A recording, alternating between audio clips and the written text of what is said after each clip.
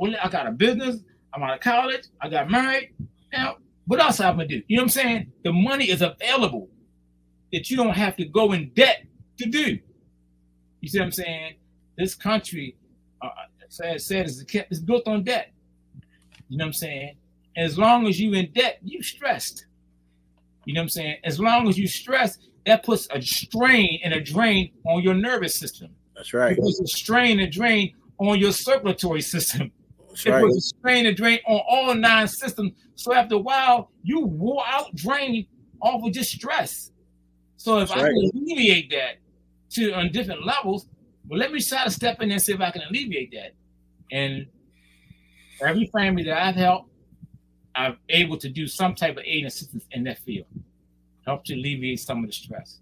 So I try to put together plans for if you got a child, you know, we can set them up with you, you pay it off in 20 years.